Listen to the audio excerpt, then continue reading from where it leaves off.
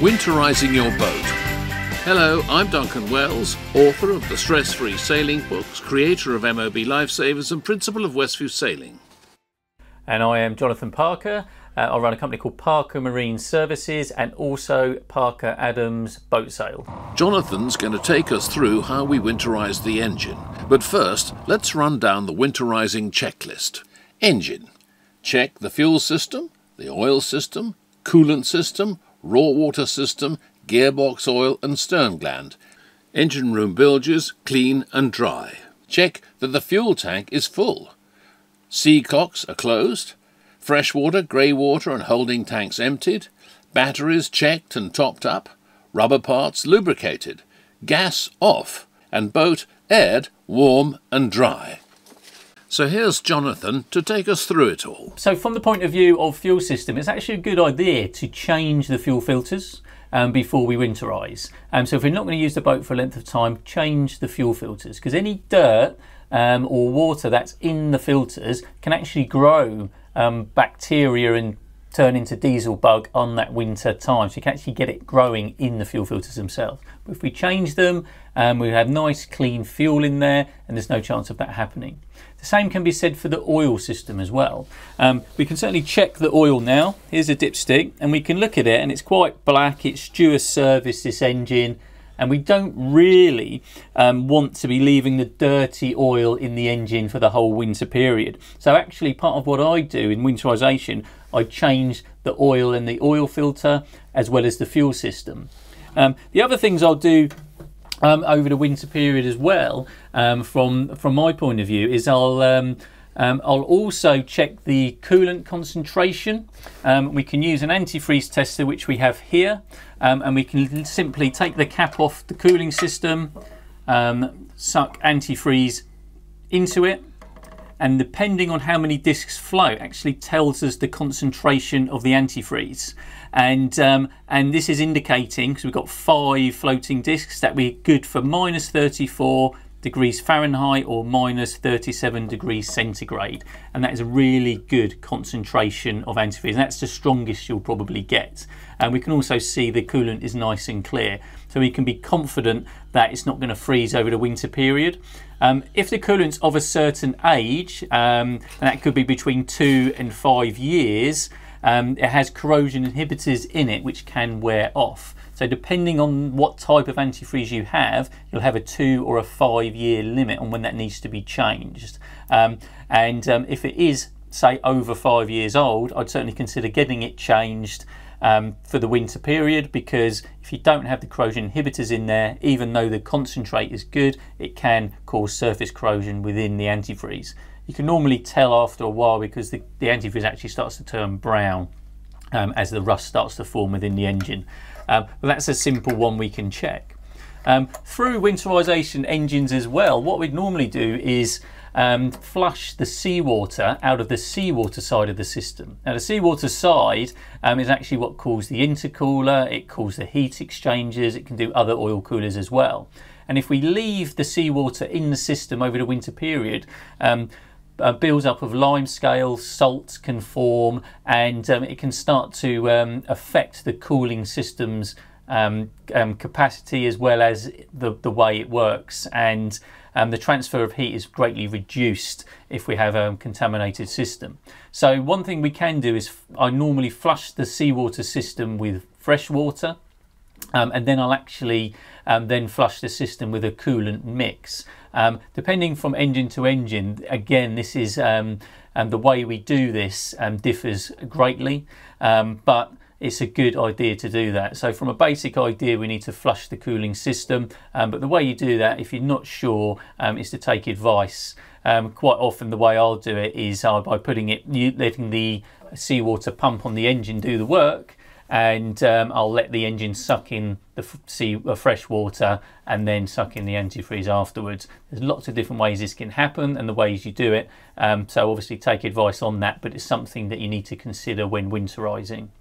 Um, the, the, other thing as well that we like that I normally do is any rubber components we need to look after. Um, and Um, when it comes to alternator belts, for example, normally I'll actually remove them for the winter period. Um, that will give me a chance to check the pulleys, um, the pulleys um, bearings, as well as protect them from corrosion, um, and um, and it lets the belts retain their shape, so they're not set over a long period of time in a stretched form, and and it prolongs the life of the belts. The other thing as well is the seawater pump itself. There is an impeller in there and it's made of rubber. And that doesn't like to be left in a fixed state for a long period of time. And it can actually become a quite a poor water pump when you first start the engine after a winter period with it in place. Um, so advice with that is, is actually um, if you're going to changing it um, before launch or before you next use the boat anyway, then leave it in there and change it last minute. If you're going to reuse the impeller, um, so you're not going to change it um, after the winter period, then I'd actually remove it entirely and put it on the side so you know you've taken it out and remind yourself with the fan belts normally and um, leave it on the side it will retain its shape and then fit it just before you launch the boat in the engine room we're between the engines we need to keep the bilges dry get any water out check your operation of seacocks replace any that are badly corroded and then they must be off when we winterize. Remind yourself that they're off by writing something down. Water strainers for the engines. What we need to do, we need to um, take the lids off with the seacock off, clean them out, clean out the bowls, put them back in. We can use this to flush the engine system. We can either hose through or antifreeze in and then we can run the engine and then that'll flush the system. Okay, so here we are at the back of the engine and we've got the um, the gearbox which goes onto the gearbox coupling which then goes onto the propeller shaft which goes out the back of the boat via the stern seal. Um, and really part of the winterizing we need to make sure that the stern seal is not leaking.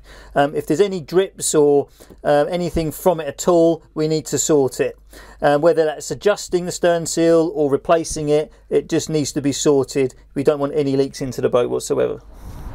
Okay, so here we have a, um, a stern drive on a motorboat. And stern drives as well need to be winterized. Um, the best thing you can actually do with a stern drive is actually change the oil. So when it gets out the water, um, we want to be changing the oil and we'll check it for water contamination and also because it's had its yearly use, um, it needs to be changed before we leave the boat for a long period of time. That'll leave it with nice clean oil in it. Um, also, um, it's this section here which is where the water gets sucked into the engines. So we can actually flush the engines from this point and we use what we call a bellows. So it's a contraption that goes over each water intake and we put a hose on it. And once the hose is running we can then start the engine. And then what we do we wait for water to come out of the propellers and which is also the exhaust. And um, and once it's been run for about five to ten minutes then the whole system is completely flushed of seawater um, also in here, there's lots of rubber components. Um, through being left dry over the winter period, they can actually start to degrade and they can harden. So it is actually good to soak the rubber components in a silicone spray, something like that, to protect them from, um, from hardening over the winter period. Um, this stern drive in particular, um, which is quite rare, also has a flushing port. So if you didn't want to use the bellows, you can actually attach a hose, which is a normal just garden hose end onto here, run the hose and then start the engine and you can actually flush the system using this point here. It's quite rare on stern drives, but this one has it. Um, so it is a big advantage.